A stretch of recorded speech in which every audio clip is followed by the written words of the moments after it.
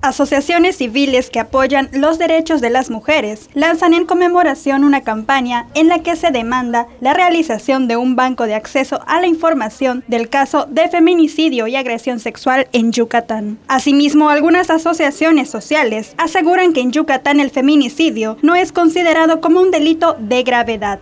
Pero es que oficialmente no hay ningún registro de feminicidio en Yucatán ¿Cómo se tiene un registro de feminicidio? Cuando el feminicidio, por omisión de los diputados y las diputadas, no se clasificó como un delito grave. Exigen al gobierno de Rolando Zapata Bello cumpla la ley de acceso a las mujeres a una vida libre de violencia, que obliga al titular del Ejecutivo presentar un programa especial para prevenir, atender y sancionar la violencia, pues hasta hoy es inexistente. Eh, sí esperaríamos una mayor contundencia en acciones afirmativas, en presupuestos, en perfiles adecuados para que la gente que está en estos puestos tenga, sí, o se rodee de gente que lo tiene que hacer.